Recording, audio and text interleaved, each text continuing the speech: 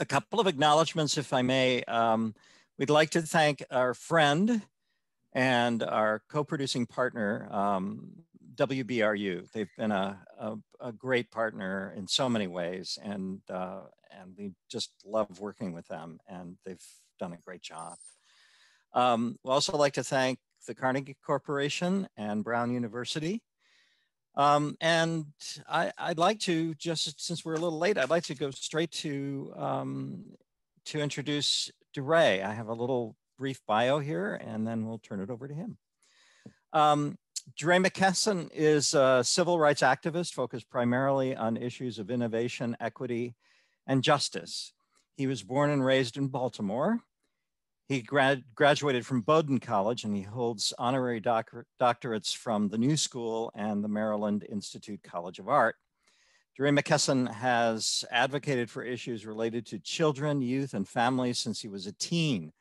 As a leading voice in the Black Lives Matter movement and co-founder of Campaign Zero, DeRay has worked to connect individ individuals with knowledge and tools and provide citizens and policymakers with common sense policies that ensure equity. He's been praised by President Obama for his work as a community organizer, has advised officials in all levels of government and internationally, and continues to provide capacity to activists, organizers, and influencers to make an impact. The executive producer and host of Crooked Media's Pod Save the People, please welcome DeRay McKesson. Hello. Uh, sorry about the timing issue, everybody. I'm here and excited to be here. So, you know, it's it's fun. I I talk a lot, uh, but normally about the criminal justice policing work I do. I rarely get to talk about the podcast. Uh, so it's fun to be here and talk about the podcast. Excited for questions and pushes. Let me walk you through uh, the things that sort of guided me. Now, the podcast started in 2016. Uh, Jon Favreau from from Pod Save America now and Crooked uh, called and was like, DeRay, you should do a podcast. And I was like, ah, I don't really want to do a podcast. I got a lot of things going on. I want to do a podcast. He's like, no, I think you should do. One. I'm like, I'm not gonna do one. Cool. Then he calls me like a week later. He's like, DeRay, your first date for the podcast is this date. I'm like, what? He's like, yeah, you're gonna do it today. And I'm like, okay, I guess we're doing a podcast. I at the time was the chief human capital for the school system. I had a full time job. It was like a lot, and this was before there were a ton of podcasts. So even my announcement about a podcast was national news. It was like a thing. We were number two on the charts on announcement day uh, nationally, which was really cool. But I was trying to figure out like what did I want the pod to be? And the pod is four hosts. Uh, we talk for 30 minutes about news that you don't know, and then we do a thir- then I do a 30 minute interview. And I'll walk you through sort of the four things uh, that really helped me uh, think through this. Oh, can we can you enable screen sharing? So the first thing I'll just talk to the first is this idea of like stick to your question. This has been like a guiding thing for me my entire career. So when I do the work of activism, I'm always chasing the question of like, how do we get to zero? We call it campaign zero because we're trying to get to zero. So like everything I do is like, how do we get to zero? And with the podcast, the question to for me was like, how do we tell the truth? Like that was like the thing. It was like, how do I create a space we tell the truth. So the reason that we did the four pieces of news at the beginning was like, you know, there's so much going on every week that like never makes the it, it's not on CNN, it's not on MSNBC, but people should know.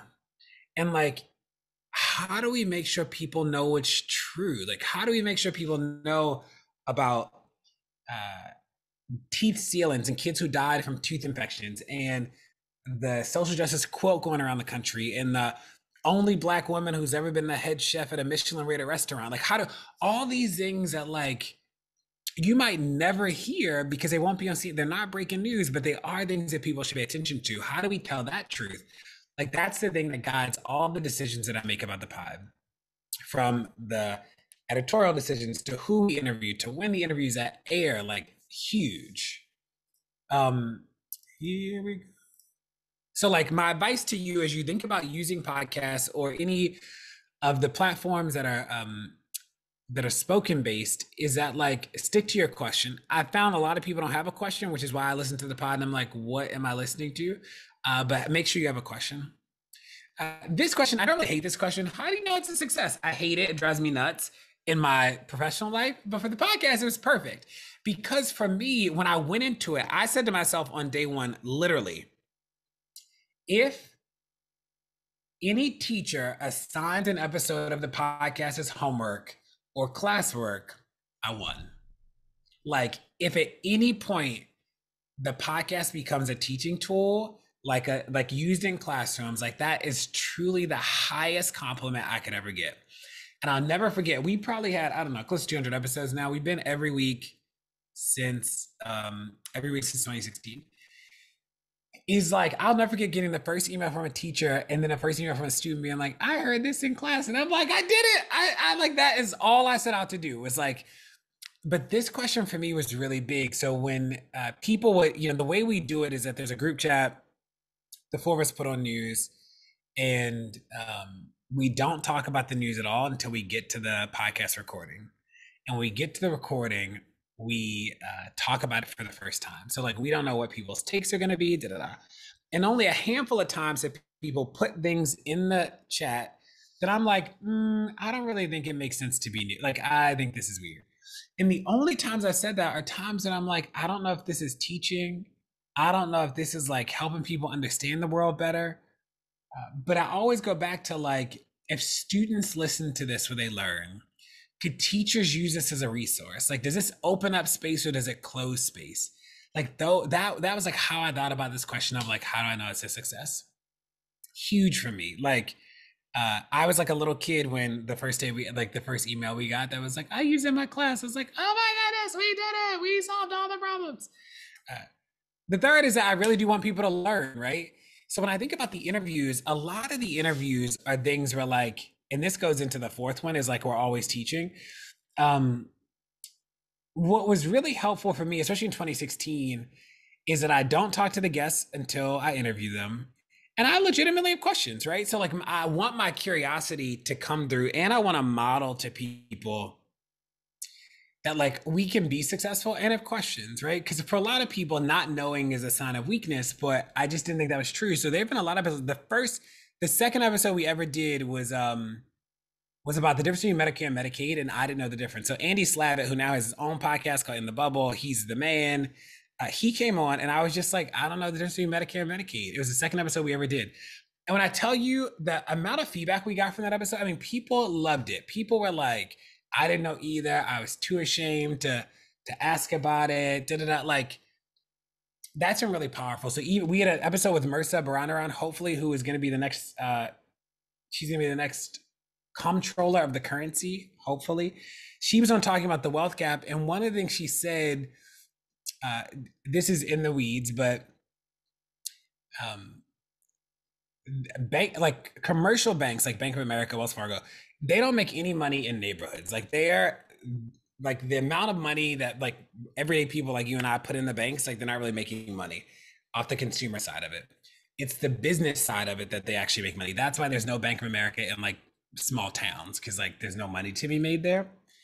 Um, so she, she was on talking about how could we actually increase the reach of banking so that like there are no more banking deserts. And I'm like, I like I was asking her, like, what can we do? And she was like, DeRay, you know that uh, the post office used to be banks for people. Like there were po- you could do postal banking all across the country. Post offices are equitably distributed. Post offices are everywhere. Blah blah. And I was like, I didn't know. And the next week, I get a call from Senator Kirsten Gillibrand's office, and she's like, uh, we listened to the episode. The senator listened to the episode. We're introducing legislation about postal banking because of that episode. And like that is why I made the podcast. I wanted it to be a place where people could come and learn because I knew, especially as an activist, is that people do not take action on things they don't understand. That like I gotta help them both understand and feel it. And if I can help you understand it, like if I can make logical arguments that help lead you to a conclusion and make you feel it, which leads you to action, we can do anything. And like that was actually that was it. That was like those were like the guiding principles. But those are two examples. Another episode we did um on uh, there's a kid in DC who he was I think like 10 he cavity becomes a tooth infection. He eventually dies from the tooth infection. And uh, it was completely preventable. So I get these dentists to come on and we talk about the idea that you can seal your teeth. Like kids can get their teeth sealed like their back teeth. And the number of uh, messages we got from parents, especially black parents, being like, I didn't know anything about teeth sealants. I didn't know that this was a thing that could be done. I didn't, you know, it's like those things super matter. We did it, excuse me, recently on um on glaucoma because I read an article about racial disparities of glaucoma. So I had this doctor who like leads uh like eye care awareness across the country. And uh, he comes on and like who knew glaucoma is the second leading cause of blindness amongst black people? That you can't feel glaucoma. So by the time you feel that you're already like it's too far gone. So you actually you that's why if you've been to the eye doctor, they blow those puffs of air in your eye. Um, and that is the test for glaucoma. And and as you can imagine, eye doctors are not equally distributed across low income communities. There's this whole conversation about eye care. And the number of people who reached out and they were like, you know, I don't get my eyes checked every two years because like I got my glasses are fine or I got LASIK or da da da, who like aren't even thinking about glaucoma, haven't thought about it, didn't know that you can't feel it. Because most people are like, well, if something goes wrong with my eyes, I'll feel it. You won't feel glaucoma. It's pressure building up and you won't be able to feel it until it's like too far gone. And it's those episodes that like I know we're like adding to the conversation and people are learning things that they wouldn't otherwise learn. And I say this because I think there are a lot of um I think there are a lot of podcasts that are really celebrity driven. So like you're not really learning anything, but the reason that they want people to listen or the reason the way they get people to listen is that it's like a back to back of celebrities. And like we did that at the beginning because I just didn't know any any any better. And then it was like after my like 20th celebrity, it's like y'all was saying the same stuff. I like, do I really need to know like you have for dinner? No, right? Is anybody like gonna be better off because like they we can talk through the stunt scene you did? It's like, nah, I don't know, right? Like that's just that. I'm sure that's somebody's podcast, it's just not mine and the, the other group of people that are um, a little boring are like the electeds. Not because in the electeds are like a great audience but let me tell you most elected officials they got the it's the same thing. They're like okay da da da da and you're like whoo boy. So the stuff you really want to know they're never going to say on the record. Uh, so we sort of veered away from them too and we like don't really do a lot of those anymore. We do things where like i come to the conversation i'm like i'm curious. I think i can learn we had a, a cold pitch of a book about black love. And i was like you know what? Book looks interesting. Let's book her. Professor stewart um, we get her on. Best interview i've done done in months. I mean she was incredible. Like it was the history of black marriage black love. I literally had no clue. And she talked about things like one thing she said that i'll never forget it is she was like um she was like the federal government after emancipation essentially required black families black people to get married and I was like, why? Like, who knew that the federal government cared about black marriage at all? And she's like, DeRay, that's the rub. They did not care. But forcing black people to get married allowed the federal government to say that because men were the head of households, that the government had no responsibility for the kids and women. And you're like, who knew? Another thing she talked about in the book and on the pod was we obviously know lynchings are awful uh, and a bad part of our history. What I didn't know is that uh, white people used to actually cut the genitalia off of black men and they would keep them as like trophies in houses and stores and display. I mean, she taught me so much and it was a cold pitch. And I had to be open to that. But it goes back to this idea that like I wanted people to learn. And I needed to model learning so that like other people would feel okay with it. And the last one is this reminder that we're always teaching. So the, the way we talk about things is teaching, the way that we uh, like who we put on our platforms is teaching the way that we have tough ideas you know on the with the four of us talking the way that we disagree or agree like we're modeling for people. And if there's anything that i've worried about some of the podcasts i've seen coming up is that like uh, sometimes people aren't aware that they are teaching that like the way you talk about that the way you joke about that the way that you introduce that is actually communicating a set of things about power and people's values that we actually just have to be really mindful of and then like you know so i think about early in the podcast we stopped saying the word crazy years ago because people were like this this comes with a, a whole implication about power. So we always say wild. We're like that was wild. Da, da, da, um, but there are a lot of things like that that like we had to be open to learning you know or people email us after a podcast and say you know i would the last comment i got about something someone was mad about was um i was i was complaining about space force like the the thing that trump did where there's like the whole group of um the federal government now that like is truly called Space Force.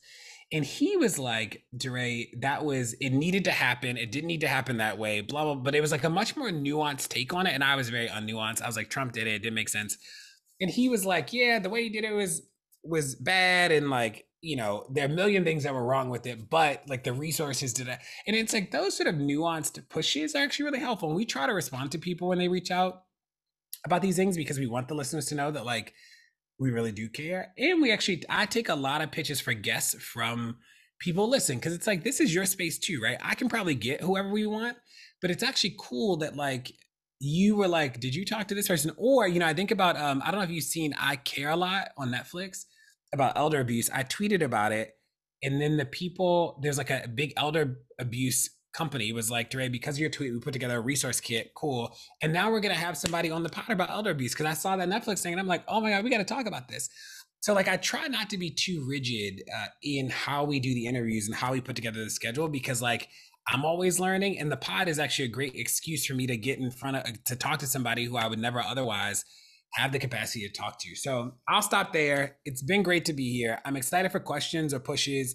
Um, you know, the pod, you know, people don't see the gazillion hours of work that it takes uh, to put the pod together. And, you know, we record an hour worth of audio for the interview that our editors every single Sunday night um, actually edit down to sound like a 30 minute conversation. So shout out to them. When we started doing that, people said that we were crazy. They were like, this is too much work. You'll never do this every day, every week. And and like we actually do, you know? Um, and we do, and it's dope. And like it is, there are other podcasts that actually do a similar format now because of that. Uh, but when we when we did it, it was one of those things that like I thought it was right. We had I found the people who were able to do it, and like we made it work. Thank you. That's great. Um, so Bill Lenz and Brock Wilbur, the people you're talking about who do that work on Sunday. Yeah, yeah, they do. Yeah. And they are like, DeRay, give me the files. I'm like, I'm not done. I need to record this thing. now, when you when you do that, I just uh, the, we're taking questions at this point from from all of you. Not, I'm just filling time here while we're getting your questions, but I am curious about something. Uh, so when you're doing that, when you're distilling it down to 30 minutes, are you trying to get the same feeling that you get at, in the early part of the podcast where you're just talking about news stories among each other is just very friendly and relaxed and you know that so what's interesting what's interesting is that we actually don't like uh brock brock actually does the he he chooses what parts to cut. I don't. Oh okay. So like I used to be more involved in the beginning So Brock's probably the fourth producer we've had. So if we get a new producer, then we norm around like, you know, there's some like unspoken rules, like don't always cut this person, you know, like there are four of us, right? So like try to try to cut pieces of everybody so it's not so there's not like a weird imbalance, right? Um, we've got the four of us have gotten better at not talking if we don't have something to say. So then you just don't have to cut it, right? So like if, if it's obvious and we just like we won't echo the person so that Brock doesn't have to be in a weird position to cut. Um, but we actually don't like we they figured out like Brock has figured out a good cadence with our voices that like I don't even listen to it before it goes live anymore. And sometimes I'll send notes being like, make sure you cut that whatever was mm-hmm. said yeah, there, sure. like don't do that. Uh, but it's cool, like they actually do it. And then so and then I, I just I noticed uh, just a couple of things that uh, um, I'm wondering about. One one is the advertising. Now, you know, this, you got to raise revenue and so on. But I noticed that you um, you seem to be pretty selective, uh, and maybe I'm maybe I'm projecting here, but you seem to be pretty selective about who your advertisers are. As I see, if you look if you look at uh, Crooked Media, there's a lot of a lot of advertisers, and they're not all on your podcast. Do you have a say in in who is going to be uh, in the in the middle break?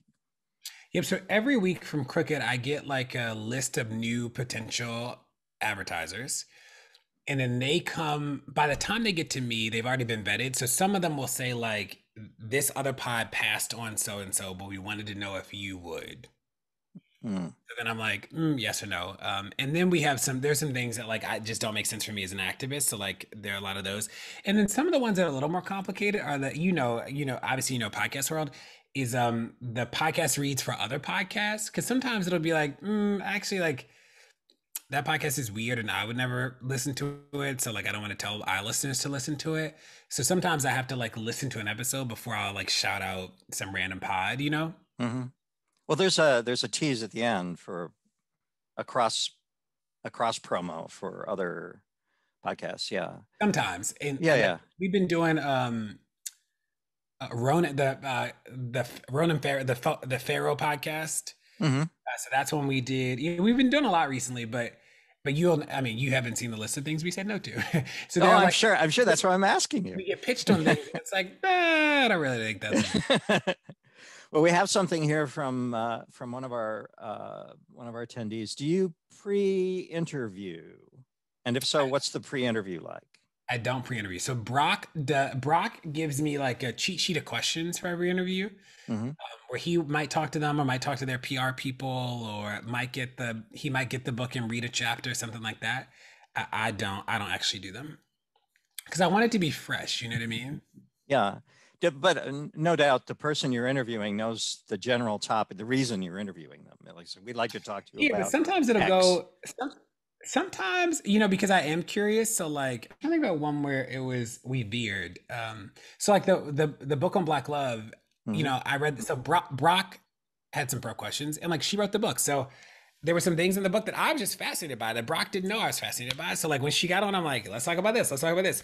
And if they're not ready or like if, if they're weird, then like we just cut it, right? Like, and I tell people be, like this is not a gotcha podcast. So if you screw up or stammer, then like we'll just edit it out in the end and you'll come out perfectly, you know? The uh, the same person here is uh, is curious about. Um, this is all about preparation, I think. Uh, so when you you do your research before the interview, um, you, you, then try to figure out well, what are some of the questions I might ask. Um, it, so that's all preparation, you know, sort of making sure that you're not going in totally cold. But as you said, you like it to feel spontaneous. So probably a lot of that you know is dispensed with pretty much as soon as the conversation starts this is a guess but yeah i don't do a ton of prep the prep is really saying yes to you on the podcast so we get this long list of people that want to be on and we say no to most people because we have a bank like it's already you know we already got a lot of people in the bank and da da da da so i don't want to interview you and then never air it because then you're going to be mad so like we say no to a lot of people. So by the time I've yeah. said yes, I'm curious about something. Or sometimes like glaucoma is a great example where like I sent Brock a message being like, I just read this thing about glaucoma. Can you find somebody who knows something about glaucoma? And sometimes we, um, you know, I, I think about, I did, I did a couple interviews recently that like we probably aren't going to be able to use. Like they weren't able to talk about the content in a way that made sense. So we might bring them back, but like, you know, I tried and like I'm not going to put something on where like it just doesn't make sense, you know? Um, so that gets a little complicated sometimes. But but the the pre-work is really saying yes. Like that is actually the like hardest thing. I understand. I just because there are makers out here who are, are part of this conference. Um, one of the things that I think gets people a little bit nervous when they're starting to think about podcasting is the comp- competitive environment in which podcasts live, which is huge. I mean, even even within the family of Crooked Media, you know, there's like about 15, 18 podcasts, and then there's the rest of the world does that stuff enter into your thinking about how you're going to make the program succeed or do you or the podcast succeed or do you do you just say you know what i can't worry about that we've just got to do our mission I think I'm probably not the best, you know, because I was the second podcast on the Crooked Network, we would just stay longer than everybody but Pod Save America, you know? Yeah. Um, so I don't I don't think about it in that way. I also I know that we offer something that you can't get anywhere else, right? Like we did it first, we did it better, we did it, you know. So like I didn't. I remember when Pod Save America started. Is the reason that we don't we like I they do a play by play of Trump. That's what they did every week, mm-hmm. twice a week. You didn't need a black version of that. Like what? I don't have that much to say about that man, right? So like I knew we weren't gonna do a play by play of the Trump news. Like I knew that. So then it was like, what can we do? And I was like, oh, I think we can do the news you don't know. And like, there'll always be news you don't know. Like that is, it's always going to be there. Uh, and I and I did that intentionally so that when Trump wasn't president, I didn't have to like figure out a new format of the show. You know what I mean? It just it does what it does, and we learn every week, and and that was actually really important to me. So yeah, um, So no, not I don't think about a lot of competition. I do. I think again, the biggest thing is that there are produ the podcast world is like book celebrities, celebrities drive traffic. Like that's sort of like the formula. We don't do that. And um I think that, and this is the organizer in me that understands that one is the biggest number, that I don't need, I mean, the podcast as well. So like it does. But like my goal isn't to like have a million listeners a week if the content's bad, right? Like that's not like a like the question I was chasing wasn't how to have a podcast with a million listeners every day. It was like how to make a difference. And like sometimes those things might be at odds. So we do we do ads and we do, you know, it's because I've been at Crooked for so long, it is like a little it's just different, right? It's one of those things where like um at the beginning, I was on Pod Save America once a week, like cross promoting, and, and now they're like a million podcasts. So that's not just pod, you know, it's like there's a host of things that are different just because like I've grown up with the net with the network. Um, but it's cool. It's like fun to see it grow, and it is. It's crazy. It is crazy to be like. I remember, like I remember when we did. I interviewed Edward Snowden for the third episode of the pod, and because I know it, I know Snowden, and um, we had no lawyer. We had nothing. I mean, it was like, and I remember there's like this clause in the Espionage Act that says that like um, being a platform for state secrets, you can be liable for the secret. So we had to get all these like pro bono lawyers to like listen to the recording before we put it on. Because at one point he said, I think this made it. I think I didn't I think we didn't cut it. But at one point he says like um there's like a site off the coast of blah blah blah where like all phone calls all, all phone calls in the country recorded. Like he says something like that and like the lawyers like didn't know if we could air, you know, like so it's crazy to to I mean now Crooked's like a whole thing and there are all these employees and it's like a but back then it was like the three guys, me and like our friends who were lawyers, you know. Uh, so it is it is sort of nuts to see it uh, to see it become what it's become. This is a good question. Um, you know, there there's a loyal audience. They interact with you all the time. How does that affect the show? The the interaction you have with people who listen. Uh, listeners are great. You know, I, I, I, I meet a lot of listeners. People be like, I listen to the pod. And you're like, thank you so much. Um, listeners are great. You know, it's the coolest thing about the listeners though is to know that like we're helping people understand content that they otherwise might have skipped in the given week. And for the hosts, like for the four the contributors, what's cool about the four of us is that we learn every week too. So like we all leave every week being like, oh, we like in hindsight, we know much more about what's happening in the world because we have to talk about it every Sunday. And having to talk about it every Sunday equips us. And we want that to like also bleed over into the community and it does so like we never there's not another place where like you are getting the conversation you're getting on the pod and we know that so if anything we are like if there's a growth plan for us we're trying to figure out how do we bring more people into the fold like how do we get more people to like uh, get on us and understand us. But once we get you in, we got you. You know. No, that's great. Um, what are your favorite uh, podcasts that you you admire? You listen to? I wish I listened to more podcasts. Uh, the last podcast that like really I loved it so much that I went and um I like met the producers. I like tweeted about them. Like, can I meet you guys? Uh, was um a podcast called Running from Cops. So it's about uh, Cops, a TV show, and it is. I mean, Cops is like sort of it was canceled and then sort of came back. Mm-hmm. Um, but brilliant podcast. Like I thought that they, you know, we have a narrative podcast now with Lemonada, uh, like the organization I help lead, um, called The Untold Story about policing. And I didn't, I didn't really believe it. So like, there's true crime, which you already know, yeah. but I hadn't really seen like narrative investigative not crime like not trying to solve a crime. I just hadn't seen one of those podcasts and running from cops i thought that it was flawless from like start to finish. I was like they nailed it.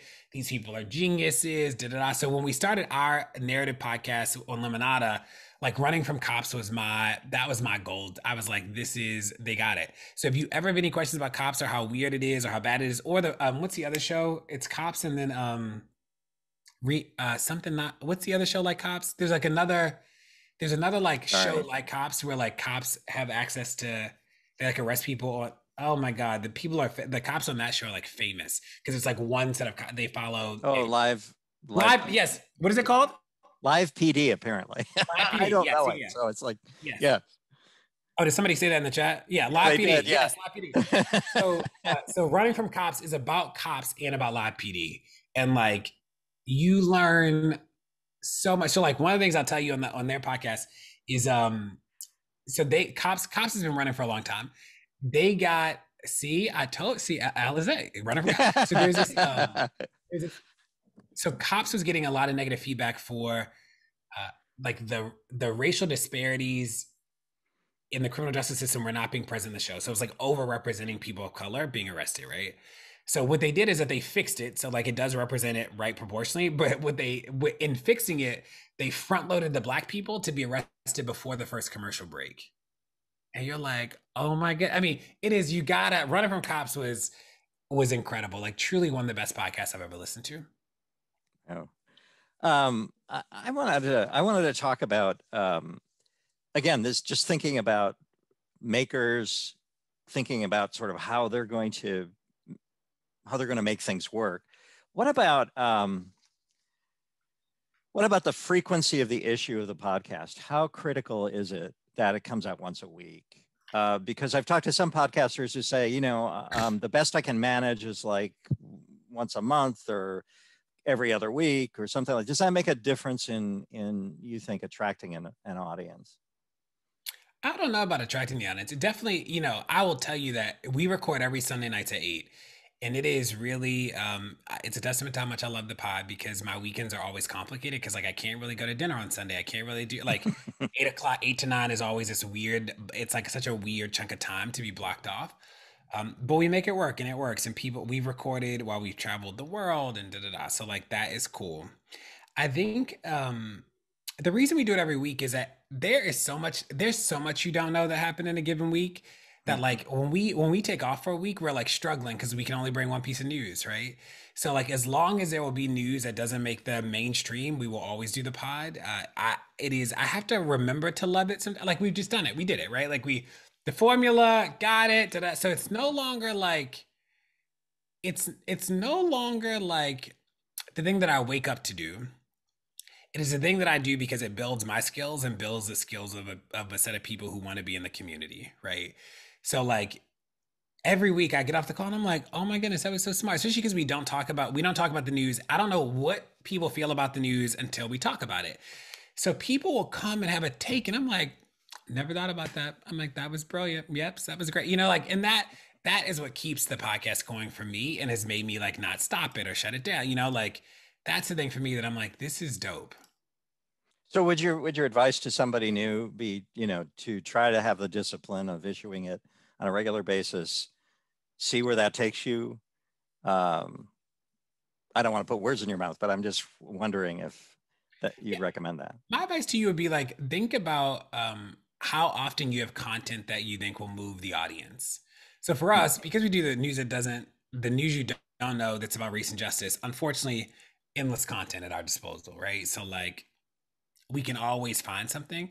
Sure. But like, don't the moment that you have to force the content, you, like it just is yikesy. Like that, the listeners can hear it. Um, mm. That's what I thought was so good about running from cops. Is like it was. I wanted more episodes, but like their gift was knowing when to stop. They stopped. They like they told a story and they stopped. Right.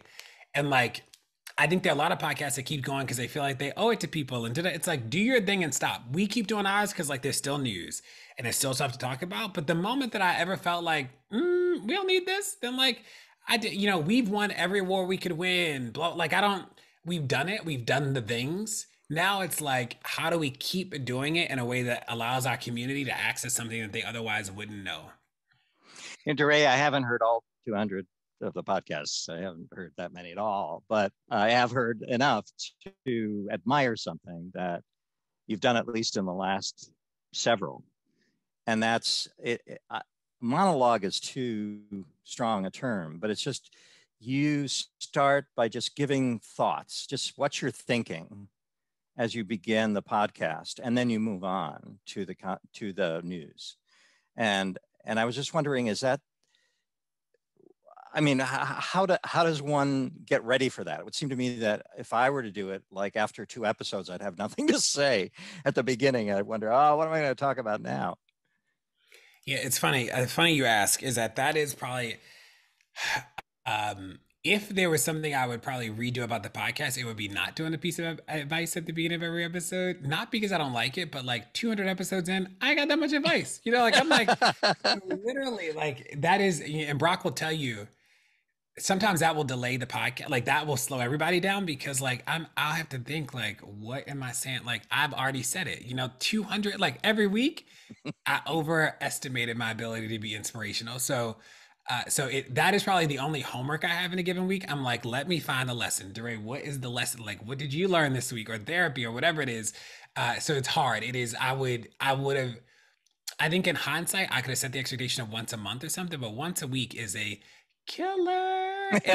sometimes it has made me like one of the ones that I'll never forget is um you have to what it was it? You um can't be a cheerleader if you don't watch the game that there are a lot of people who like who say that they support you and da da da, but like you actually can't be a cheerleader if you don't watch the game. And like watching the game is actually a big part of it, right?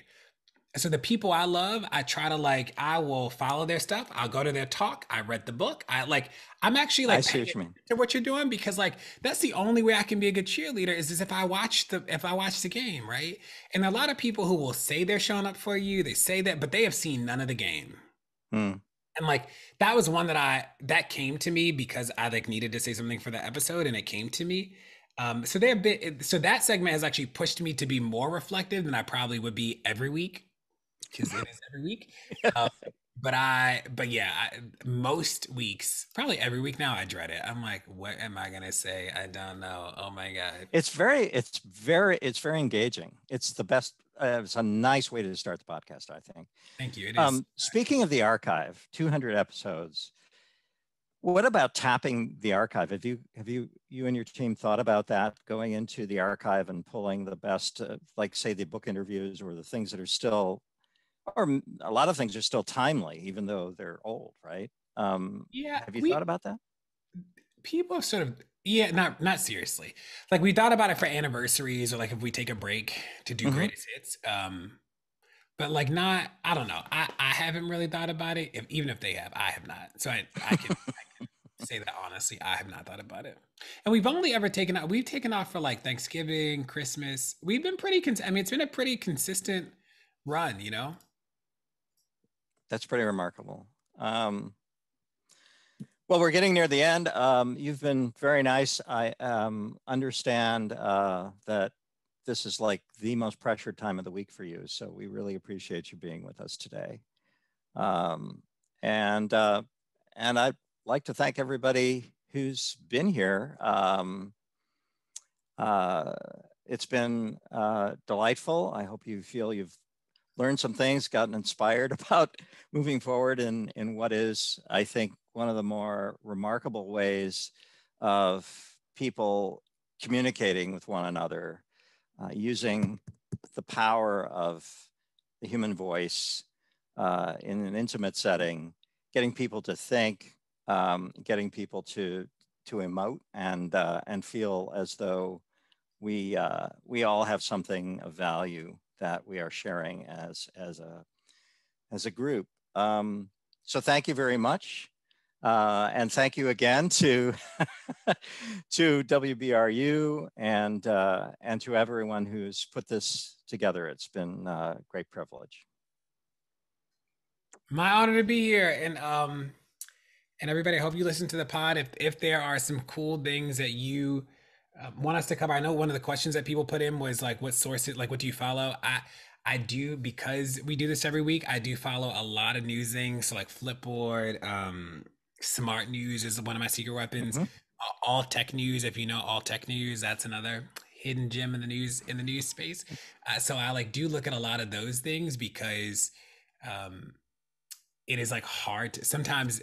Sometimes like even the news aggregators like the major ones only cover the news that really already hit the like hit the mainstream and because i'm looking for something else. So one of the things we need to do next um I, am trying to find a guest on amputation. So there was a really good article about uh, black black people's limbs get amputated more than white people's limbs interestingly.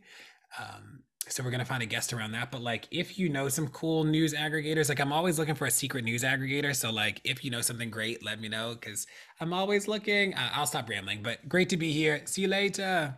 Okay, thank you, DeRay.